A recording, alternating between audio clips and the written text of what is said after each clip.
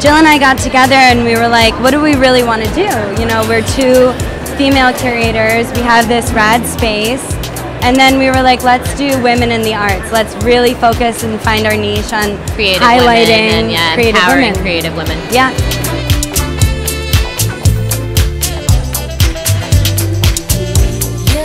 I think just so much art done by female artists all over the place, and it's really um, it's mostly photography, but it's such a, an array of subject matter that it's it hits on so many different levels, and a lot of people can connect with it, and it just touches on a lot of different things that seem to be what people like.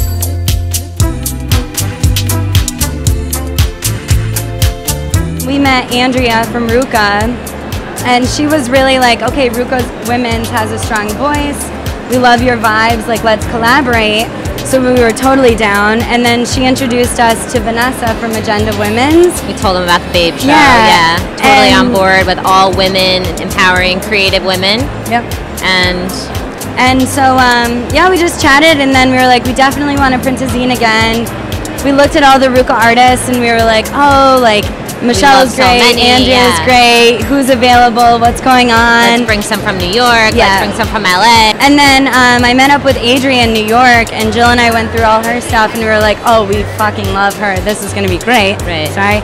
And um, we got her print, and then really Christina Rinaldi, who's one of our artists in the show, she's a designer, which is how I met her originally. Was in that capacity. Was like designing websites and branding and like you know helping execute design, yeah, different yeah. things for us. And so she had a heavy hand in designing this whole space with us.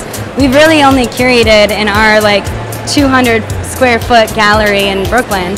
So this was just such a great opportunity for us to have a huge space and you know blow up vinyl blow up the zine images and go wild